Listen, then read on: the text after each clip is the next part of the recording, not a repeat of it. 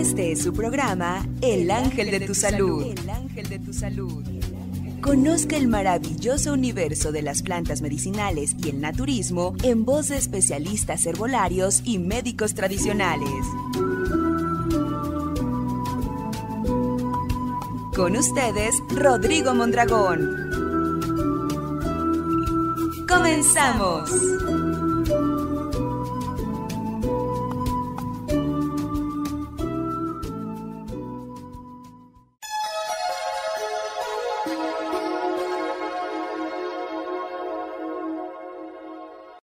Hola, ¿qué tal amigos? Muy buenos días.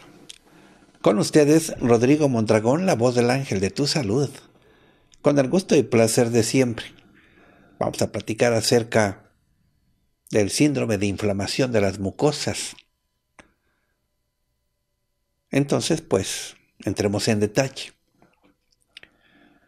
Los sistemas respiratorio, digestivo y urogenital son tres sistemas. Repito, respiratorio, digestivo y urogenital están recubiertos por una mucosa húmeda, ¿no? Una mucosa. Que es la que se comunica con el exterior. Alimentos, aire. Entonces, por lo tanto, es una primera barrera y defensa del organismo. Es una protección frente a infecciones y otros agresores externos. Bien, está estudiado que esta mucosa dispone de un tejido linfoide asociado, o sea, un tejido linfoide asociado que forma parte del sistema inmunitario. Entonces es capaz de detectar y reaccionar frente a una agresión, produciendo, si es necesario, una respuesta inflamatoria, que es de lo que estamos platicando. ¿Sí? Entonces, pues la mucosa queda en resumen que es la primera barrera y defensa del organismo porque detecta pues los gérmenes, otro tipo de agresores, el polvo, irritantes y demás. Y por lo tanto puede frenar, atajar la entrada de cualquier germen o, o cualquier sedimento, cualquier olor, porque ahí está para detectar entonces este recubrimiento, que así se llama, mucosa, capaz de detectar y reaccionar. ¿Qué es lo que va a producir? Una inflamación. Por lo tanto, cuando estamos hablando de inflamación de las mucosas, o sea, cuando están inflamadas, ya entendimos el por qué. Es una manera de reaccionar defensivamente para proteger que no ingresen intrusos dañinos. ¿A dónde? Recordemos, al sistema respiratorio. ¿Sí?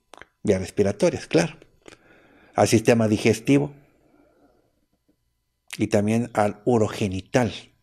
¿Sí? Todos dan al exterior pero están protegiendo, detectan, como aduana, ¿no?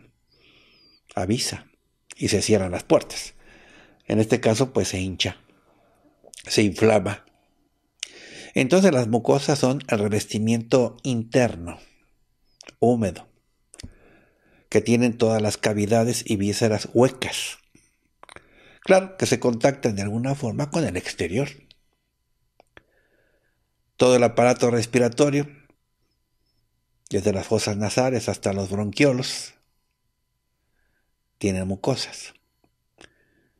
En el aparato digestivo, desde la boca hasta el ano, o sea, de inicio a fin, tienen mucosas.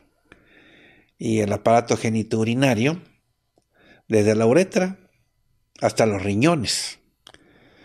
Sí, presentan una barrera protectora, que es la mucosa. Entonces la inmensa mayoría de las sustancias que entran a nuestro organismo o que tienen interacción con él, pues tienen que pasar a través de las mucosas. Entre estas sustancias, pues hay microorganismos, ¿no? Gérmenes, Entonces hay agentes contaminantes, claro. Hay alérgenos.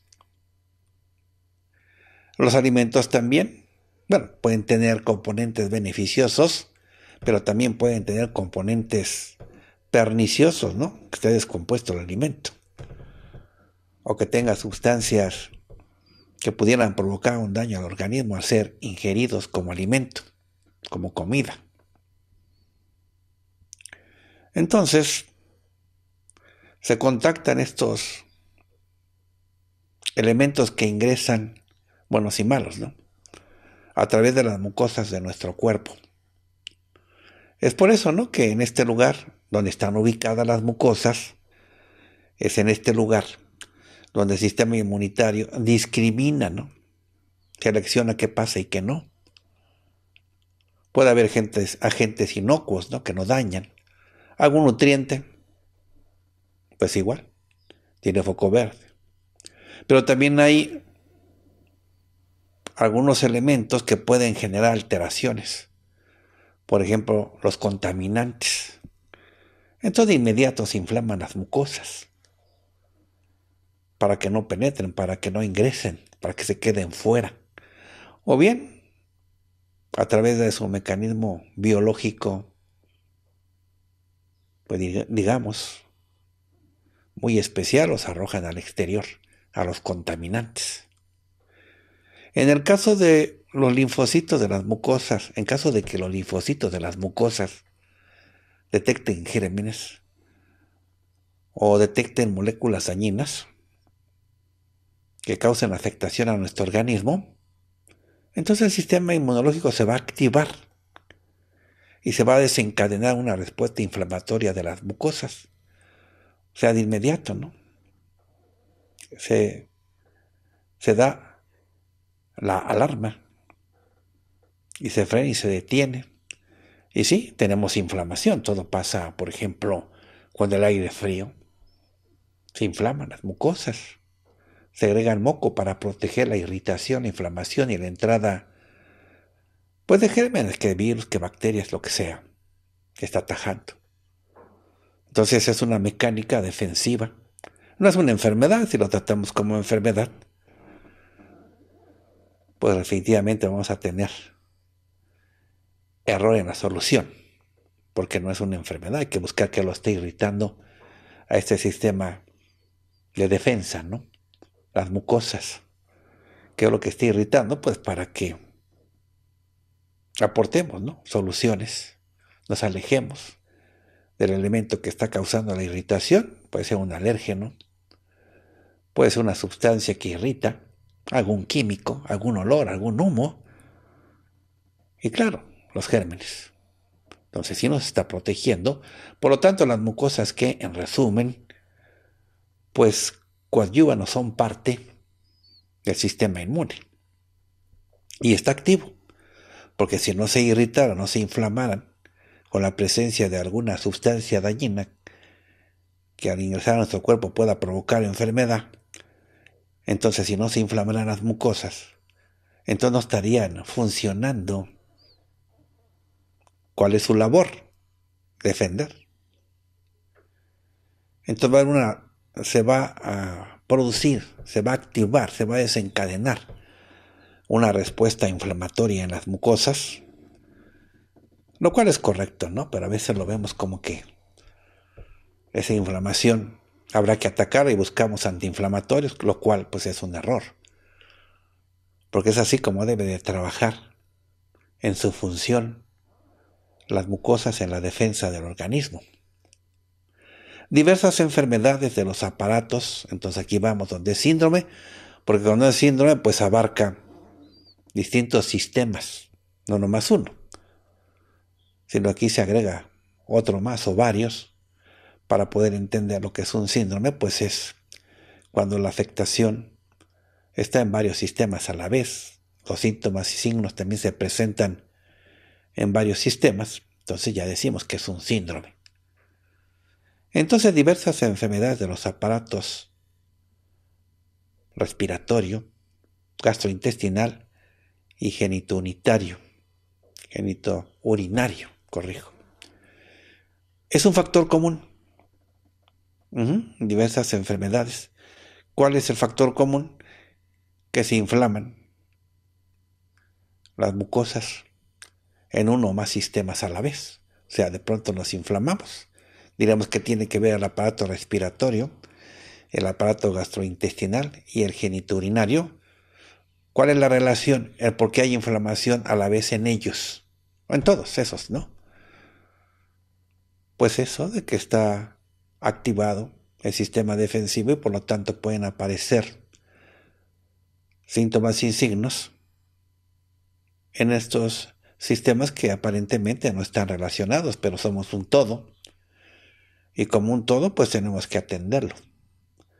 No vamos a buscar un especialista para cada sistema, sino más bien entender este todo como que lo que relaciona es la inflamación de las mucosas, o sea, que están evitando que ingresen al organismo sustancias dañinas. Entonces las mucosas poseen un sistema inmune integrado. Se denomina, tiene su nombre, tejido linfoide asociado a las mucosas. ¿Sí? Es un tejido. Y sí, ahí están las mucosas. Es quien es capaz de generar una respuesta inflamatoria, digamos a distancia, ¿no? Así como, por ejemplo, si se inflama la mucosa intestinal, porque se puede inflamar por una alergia o por intolerancia alimentaria, no tan simple. A veces no está diagnosticada. O bien puede ser un síndrome de colon irritable. Entonces se inflama, ¿no? Es posible que esa inflamación también, fíjese, se exprese en otros tejidos, aunque no sean del aparato digestivo. Por ejemplo, se desarrolla rinitis alérgica, una virosis respiratoria, una infección urinaria. Entonces hay una asociación entre las patologías, o sea, las enfermedades intestinales, las respiratorias y las genitourinarias, que involucran a qué? A las mucosas. Por ejemplo, las enfermedades más comunes que se asocian a un síndrome de inflamación de las mucosas pudieran ser, ¿no? La rinitis alérgica, la sinusitis crónica, los resfríos e infecciones respiratorias, la amigdalitis también, el síndrome bronquial obstructivo, el asma bronquial, reflujo gastroesofágico. ¿Se fijan? Pues son afectaciones en los tres sistemas. ¿Que tienen que ver con qué? con la inflamación de las mucosas. Por eso cuando hay una inflamación de las mucosas en diversos sistemas, porque están en diversos sistemas, claro, ellas, en su función defensiva, entonces tenemos que buscar en herbolaria una acción terapéutica que atienda las afectaciones que tienen, en este caso, los tres sistemas que estoy citando, ¿no? El respiratorio, el digestivo y el geniturinario. Entonces hay que atender las mucosas. Y hay que atender qué cosas las está irritando, las está inflamando, las están haciendo que de pronto se desate una respuesta inflamatoria y generalmente lo que tenemos que hacer es apoyarlas, ¿no? Las mucosas para que sigan haciendo su trabajo. Y es así como buscamos en herbolaria plantas con acción mucoprotectora. ¿Sí? Es una acción que tienen las plantas. Van a proteger las mucosas las van a estimular para que sigan funcionando. Esta función así se llama. ¿No? Estimulante de las mucosas. Aquí tenemos dos acciones terapéuticas mucoprotectoras que son para proteger, ¿no? Porque de tanta inflamación, tanta irritación y tanto daño que le están causando los agentes externos que le afectan, pues se van dañando, definitivamente. Entonces, necesitamos esa acción terapéutica y la otra también, la de estimulante de las mucosas, y claro, la antiflogística es muy esencial. Y así vamos sumando acciones terapéuticas protectoras, porque definitivamente no estamos lidiando con síntomas de un solo sistema, estamos lidiando ya con síntomas de tres sistemas orgánicos. Por lo tanto, ¿qué tienen en común? por las mucosas, por lo tanto que habrá que atender las mucosas, las cuales irritan porque puede que en algún sistema esté entrando una sustancia, un material, un gas, un polvo, un aire que está dañando. Entonces se refleja porque están exactamente en los varios sistemas que estoy citando las mucosas. Entonces, ahora a protegerlas. Porque incluso por una sustancia que está entrando por la nariz, puede haber una vejiga irritable, puede haber una cistitis, incluso puede haber hongos vaginales porque también hay mucosa. Puede haber vulvaginitis porque se inflama la vulva a consecuencia de qué? De algo que está ingresando y que las mucosas se están detectando y que desde luego su presencia o su presencia al interior va a causar todo un disturbio, sí, todo un caos, o sea, muchos síntomas, muchos signos, o sea, muchas molestias. Entonces, es muy frecuente ver a pacientes con una o más de estas enfermedades presentes al mismo tiempo a lo largo de su historia de vida. Bueno, vamos a protegernos, vamos a atender esta situación en donde aparece ya en algunas personas el síndrome de inflamación de las mucosas que afecta qué? Sistema respiratorio, sistema digestivo y también el urogenital. Bueno, vamos al corte, regresamos.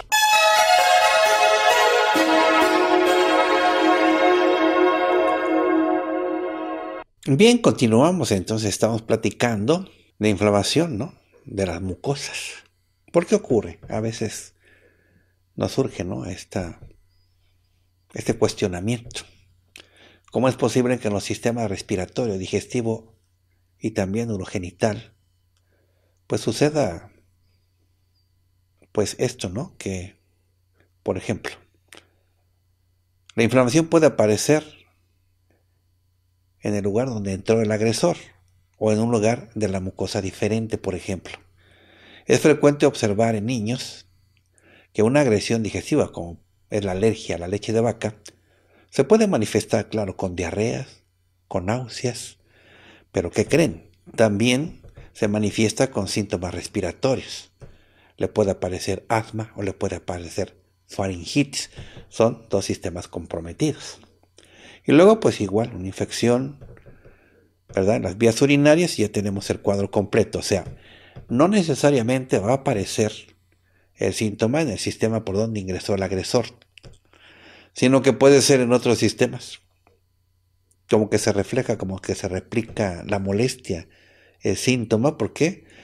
¿Qué hay en común? Las mucosas que están en estas tres partes. Entonces los sistemas respiratorio, digestivo y también urogenital pues están recubiertos por una mucosa húmeda que se comunica con el exterior, ¿verdad? Alimentos, aire, etc.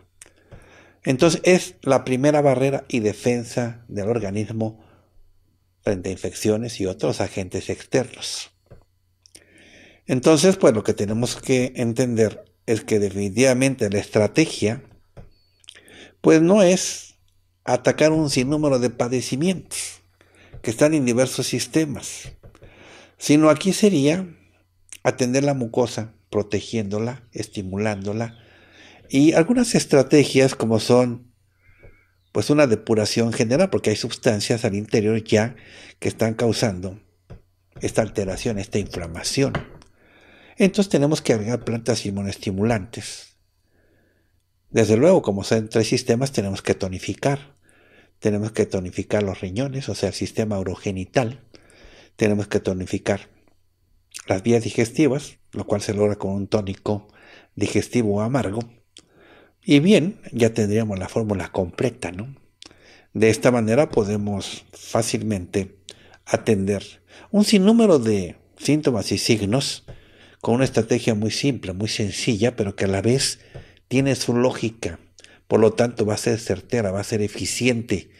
Hay plantas que reúnen este tipo de acción terapéutica que consiste en proteger las mucosas.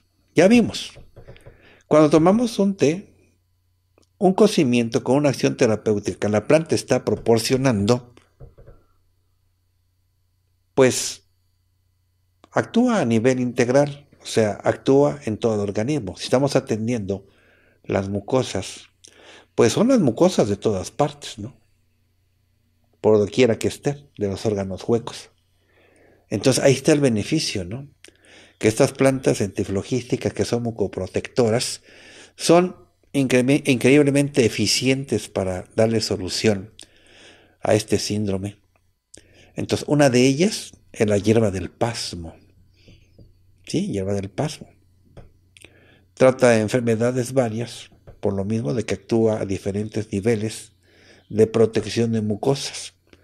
Así se dice que es una planta que beneficia mucho el sistema renal, pero siempre cuando hay inflamación.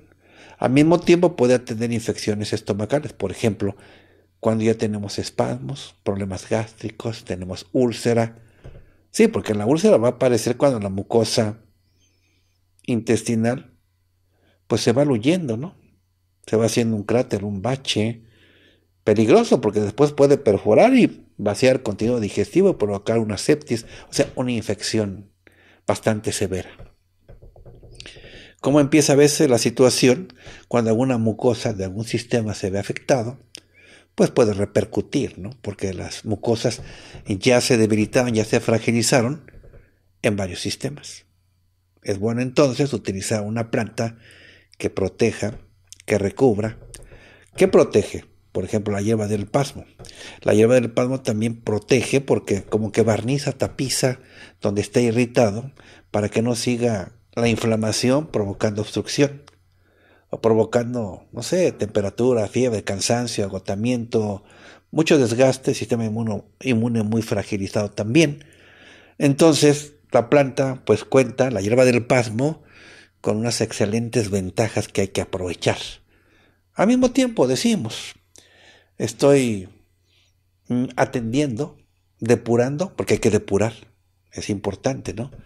Porque la sustancia, cuando ya tenemos 24 horas de inflamación, pues desde luego que ya está alojada al interior, en algún resquicio de nuestro organismo, ya está ahí alojada, le está costando trabajo al cuerpo sacarla, ¿no? ¿sí? Mandarla afuera. Y por lo tanto sigue con su presencia irritando, inflamando. O sea, nuestro cuerpo cuando se irrita y se inflama está haciendo su actividad defensiva, está avisando también con dolor, con molestia, de que ahí hay algo que definitivamente va a acabar por causar destrucción y daño en la parte donde está ahí presente, o sea, incorrectamente, ¿no? Sencillamente no ha sido desalojada. Pero esta planta esa propiedad tiene, ¿no? De depurar el cuerpo, o sea, de limpiarlo, lavarlo, digamos, enjuagarlo.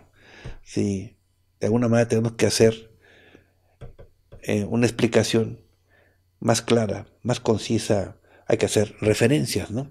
Entonces, depura el cuerpo, depura el organismo, protege las mucosas, desinflama, deshincha integralmente, ¿no? Porque igual si tenemos Inflamación de ojos, hinchazón también nos inflama. Si tenemos inflamación en los pies, ¿no? Por problemas renales, problemas de que el riñón no da ya la actividad necesaria y suficiente, pues se nos inflaman. Hay retención de líquidos.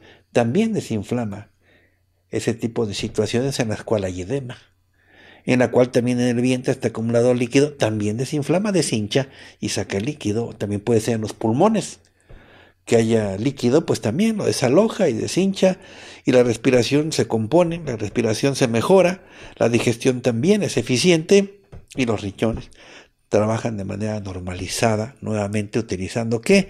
La hierba del pano. Bueno, vamos a escuchar a Sinue, tiene comentarios interesantes de cómo aprovechar esta planta extraordinaria. Adelante, bienvenido. Lo hacemos con gusto, maestro Rodrigo, y sí, observamos que muchas personas nos refieren a enfermedades que aparecen de manera frecuente y simultánea. Por ejemplo, una alergia que se presenta con cuadros de asma, o diarreas y náuseas que se presentan con infecciones urinarias y se pudiera pensar que no están relacionadas, pero puede ser que se relacionan sobre todo en este ejemplo con el síndrome de inflamación de mucosas. Las personas nos dicen, sé que son muchas enfermedades las que, las que le refiero, no sé si se puede atender todo junto, sé que soy un estuche de monerías. Bueno, la respuesta es que sí se puede atender todo a la par, se puede atender todo al mismo tiempo y se debe de atender al mismo tiempo, así, de manera integral. Claro que se puede porque, como estamos observando, aunque no sea tan evidente, aunque no, no, lo parezca, estas enfermedades están relacionadas. Y tenemos que utilizar entonces plantas que trabajen con ese problema, ¿verdad? Con el problema que las está relacionando o con la base de esas diferentes enfermedades, que en esta situación es la inflamación de las mucosas, esa membrana que protege al cuerpo. Afortunadamente, las plantas medicinales cuentan con todo un arsenal de fitocompuestos con acciones terapéuticas que permiten beneficiarnos al mismo tiempo en uno, dos, tres sistemas o incluso más. Una sola planta puede desinflamar, eliminar bacterias, cicatrizar, regenerar, bueno, muchas cosas. Es por ello que una planta puede trabajar en varias partes de nuestro cuerpo. La planta que se puede elegir en esta situación perfectamente lo menciona nuestro maestro, la hierba del pasmo, una de mis favoritas por sus tantas acciones terapéuticas. Es una planta de antemano vulneraria Quiere decir, se utiliza en una lesión, en una irritación, en inflamaciones, en úlceras y se puede utilizar de manera interna y de manera externa también, ¿verdad? Se debe de tomar y si observamos alguna lesión, una vaginitis, por ejemplo, se pueden realizar baños de asiento. Hay aftas o lesiones en la boca, en los labios, en la cara interna de las mejillas, las encías muy inflamadas, la lengua irritada. Se pueden realizar lavados, gargarismos, buches para acelerar esa recuperación y de inmediato desinflamar, regenerar, cicatrizar y quitar con ello las molestias. Entonces también tiene uso, externo. Hacer un fomento con el té caliente sobre el golpe, la lesión va a mejorar bastante. Lavar la llaga, las heridas con riesgo de infectarse o meter incluso las manos, los pies en el té, en la infusión calientita, en esas personas con artritis, ¿verdad? Inflamación, dolor articular se puede hacer con hierba del pasmo. Aplique fomentos en las rodillas, en los codos, en las partes donde el cuerpo duele cuando hace frío cuando hay mucha humedad en el ambiente, va a llover, hay, dolor, hay molestias, en esas zonas tenemos que hacer fomentos calientes con hierba del pasmo. Por supuesto, no se olvide de tomar el cocimiento de la planta. Ahora, personas con erisipela, una enfermedad de la piel producida por una bacteria del género Streptococcus. Afecta la dermis y los vasos sanguíneos subyacentes, es decir, es una inflamación grave. Se nota en la piel ¿verdad? Una zona enrojecida, tiene la piel roja con bordes bien definidos. Las lesiones pueden ser pequeñas o muy grandes, tortones, le dice la gente, con dolor y prurito, esa, esa comezón que al momento de rascarse le da más deseo de continuar rascándose. La, la persona incluso presenta fiebre.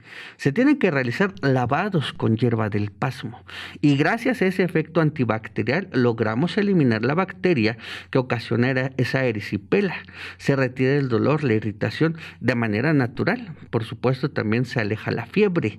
Y es una planta que crece bastante en nuestro país, en suelos rocosos, suelos volcánicos. A mí me llama mucho la atención porque gracias a que busca esos minerales, la planta la podemos observar a veces en la punta, en la parte más alta de un campanario, por ejemplo, en las azoteas de las casas, los edificios. Bueno, es una planta que busca minerales. Y ya cuando nosotros consumimos la hierba del pasmo, efectivamente vamos a aprovechar mucho mineral para fortalecer huesos, músculos, dientes, uñas fuertes, cabello resistente que no se caiga. Es una planta entonces que mineraliza, ¿verdad? Fortalece al cuerpo. También podemos utilizar la planta como una tónica digestiva. Se presenta un dolor estomacal, por ejemplo, incluyendo el dolor que es ocasionado por la gastritis, fíjese, inflamación de mucosa gástrica, o el terrible dolor de las úlceras gástricas también. Podemos tomar hierba del pasmo. Diurética, antiéstasis, a mí lo que más me llama la atención es que es una planta que utilizamos con frecuencia cuando los líquidos se estancan en cualquier parte del cuerpo. No solamente siempre que decimos líquidos, pensamos en vías urinarias, pero no.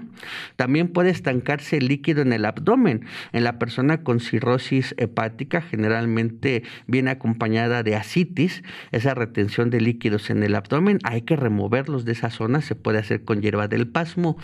Esa acumulación de líquidos, ¿verdad? En la cabeza, también lo podemos nosotros retirar con hierba del pasmo, la hidrocefalia, ¿verdad? También varicoceles, cuando hay retención de líquidos en la zona genital, podemos utilizar hierba del pasmo. Entonces, si usted retiene algún líquido, puede ser sangre que no está circulando correctamente, puede ser líquido biliar que se está acumulando en la vesícula, puede ser también mucosa, mocos, que se están acumulando en vías respiratorias, entonces nosotros podemos utilizar hierba del pasmo para removerlos, hacerlos circular.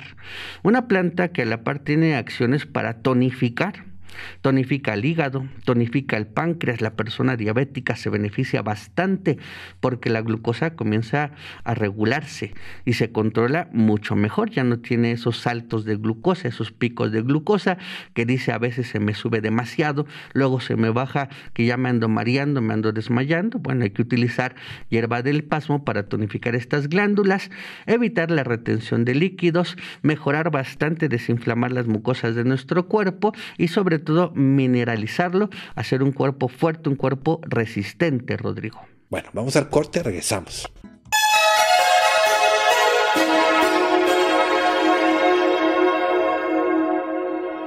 Bien, continuamos, estamos platicando exactamente de cuando se inflaman las mucosas.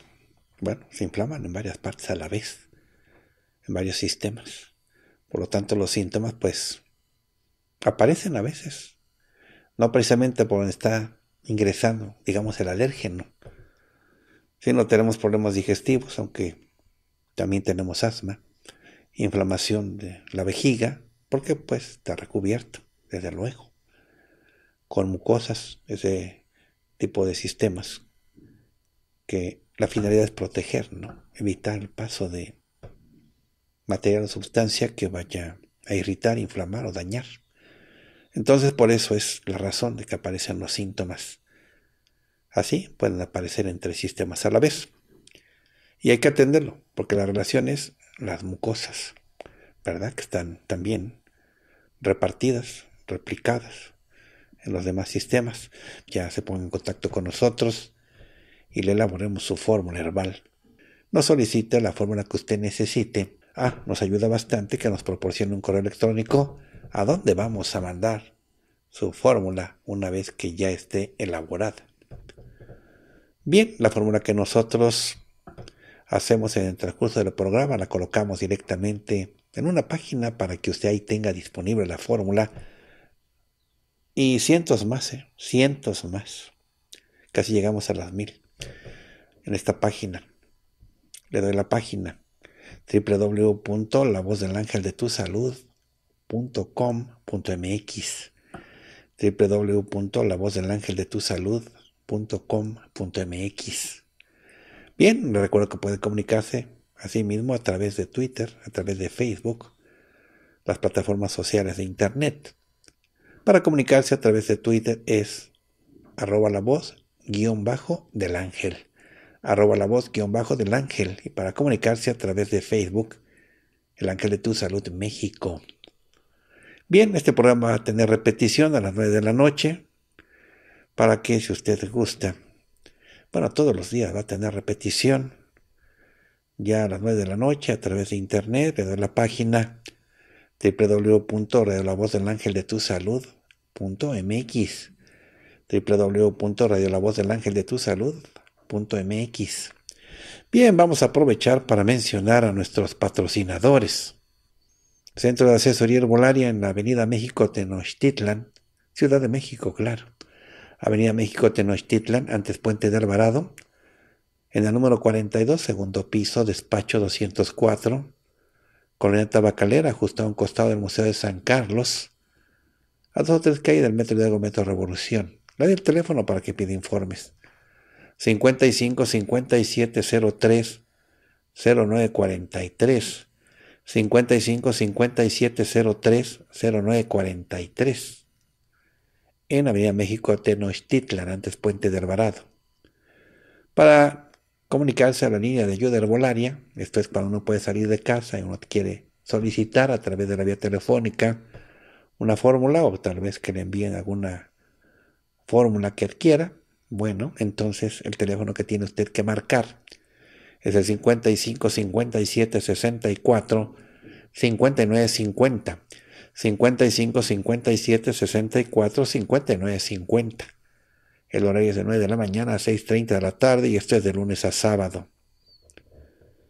Tienda en Tlalnepantla, ahí en Tlalnepantla, Estado de México, en calle Zahuatlán número 224, primer piso, Tlalnepantla. El teléfono es 55 55 65 72 47. 55 55 65 72 47. A media cuadra de Mercado Filiberto Gómez entre Río Lerma y Emilio Carranza y a una cuadra de, de Bodega Aurrera. Allí en Tlanepantla, Estado de México, ahora en Cuautitlán. Centro de Asesoría bueno, allá en Cuautitlán. En Mariano Escobedo número 209, Colonia El Huerto. María Escobedo número 209, Colonial Huerto.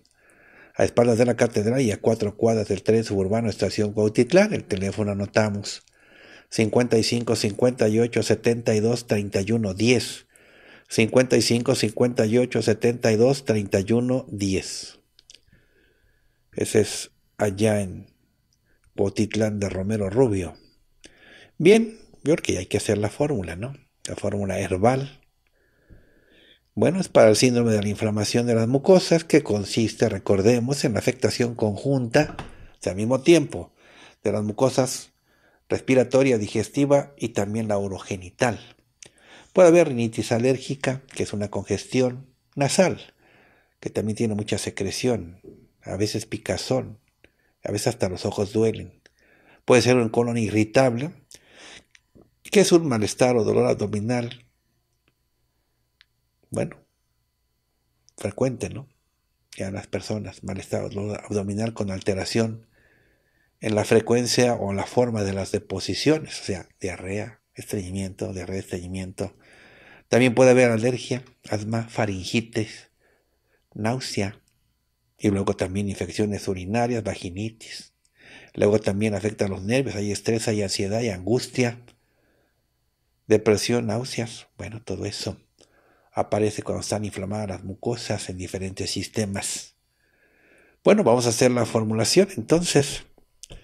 La formulación con plantas es la siguiente. Llantén de arena, parra, acitrón de uña, estrellita, trébol amarillo, hierba del pasmo. Llantén de arena, parra, acitrón de uña, estrellita, trébol amarillo, hierba del pásamo. Mezclamos las plantas juntas por partes iguales ya mezcladas. Una cucharada sopera para un litro de agua, 10 minutos de hervor. Hay que tomarla como agua de uso. Ahora, suplementos. Colágeno con vitamina B8, malungay con lisina, aceite de sábila en cápsula, glutamina, menciono otra vez, colágeno con vitamina B8, manungay con lisina, aceite de sábila, glutamina. Bueno, pues de esas cápsulas, una de cada una, y esas cápsulas, una de cada una, antes de cada alimento.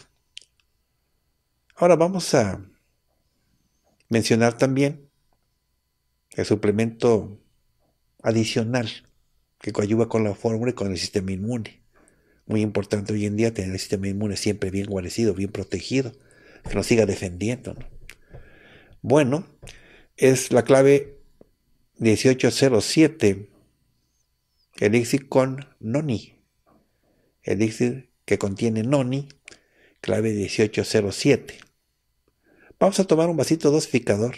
En la mañana levantarnos y otro vasito dosificador antes de acostarnos, dos veces al día un vasito dosificador al levantarse y otro vasito dosificador antes de acostarse diariamente.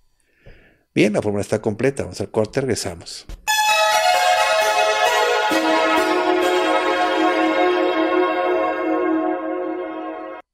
Bien, continuamos. Vamos a dar asesoría herbolaria a las personas que nos llaman vía telefónica. Vamos a hacerles sus fórmulas. Claro, con mucho gusto iniciamos. Buenos días, ¿con quién hablo? Con Norma. Norma, adelante, te escucho. Buenos días. Buenos Mire, días. para solicitarle una fórmula, Con gusto. este, es para mi abuelita. Bueno, dame sus datos de ella. ¿Qué edad tiene? Mire, tiene 90 años, 90 años, sí. ajá. Pesa, de, ¿Cuánto ahorita pesa como unos 45 kilos más o menos. Es 45 delgadita, kilos, su estatura. bajita. Bajita. ¿Perdón? Bueno. Bajita de estatura, dices. Sí, ha de, pe- ha de Bueno. medir como unos, unos 40 y tantos. Ujú. Sí, está bien. Dime ahora qué le Hipertensa, sucede. doctor. Es hipertensa, toma metoprolol para su hipertensión. Este le dan Sí. medicamento para el est- estreñido, demencia, está tomando escri- escitalopram, memantina y olantapina para lo que es la demencia. Nada más ahorita Sí. el problema que nos inte- interesa es que atenderlo porque sí está muy insistente, son de las vías urinarias.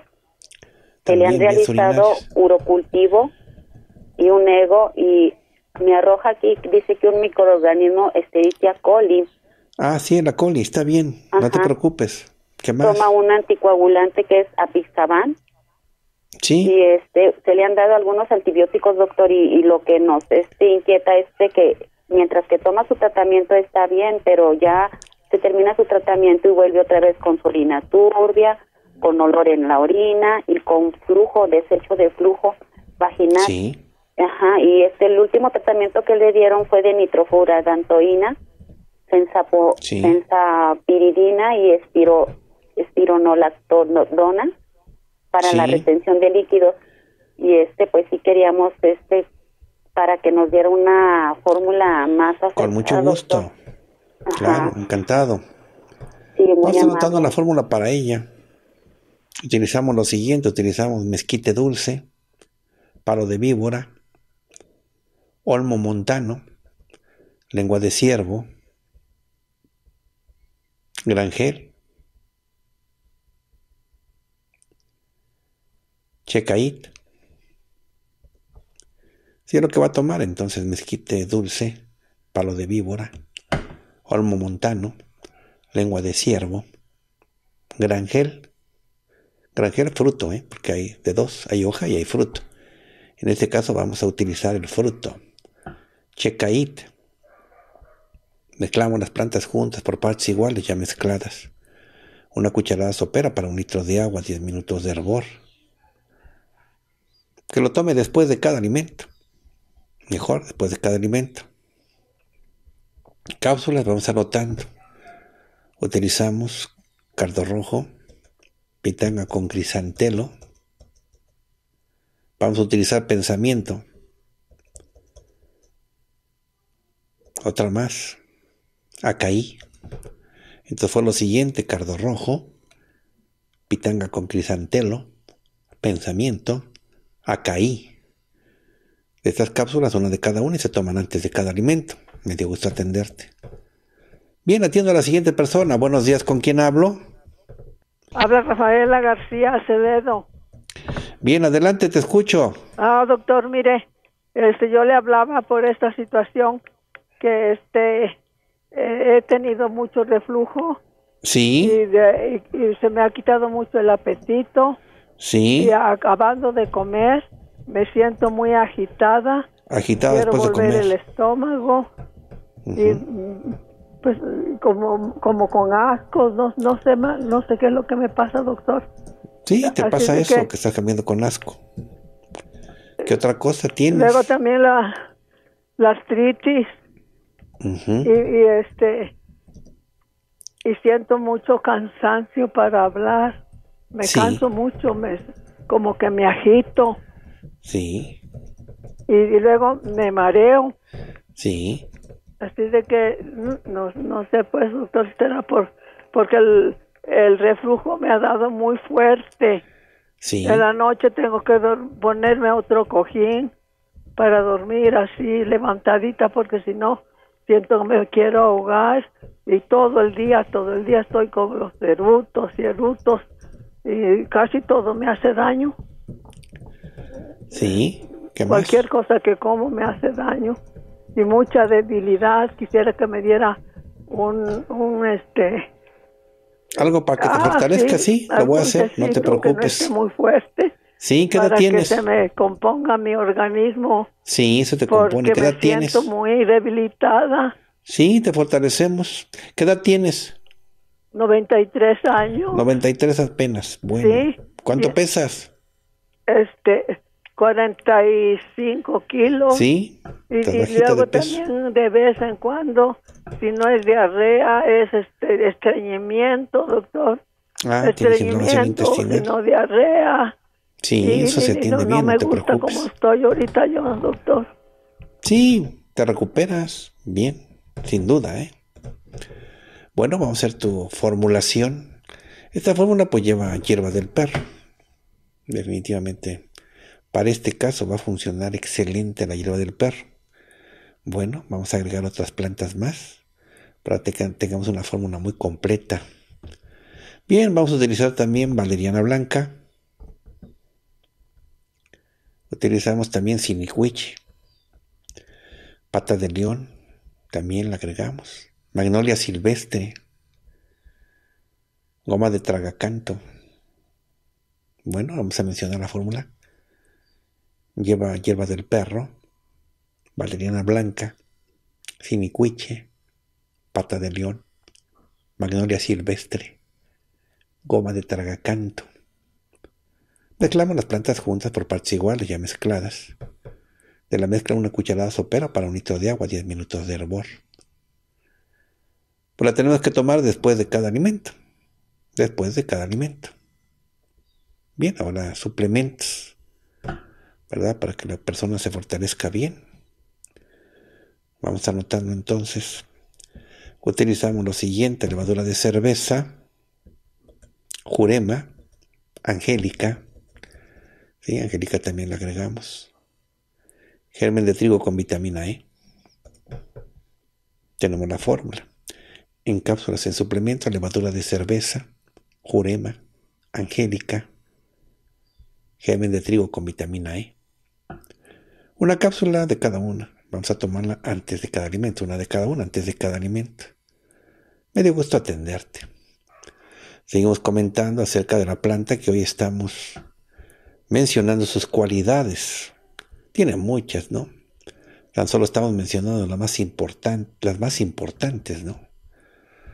Porque pues tiene usos etnomedicinales, ¿verdad? O sea, en los lugares donde hay pueblos originarios desde tiempos inmemoriales, se utiliza mucho para el dolor de cintura.